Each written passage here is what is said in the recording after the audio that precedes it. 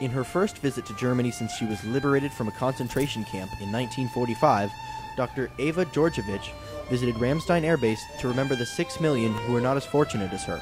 There is a significant difference between reading it in a textbook or even seeing it on a documentary film as opposed to actually being there and experiencing the aura and the reality and the emotion and the spiritual vibrance that is there in, in the witness of that individual who has lived through that time and who actually touches lives in our time.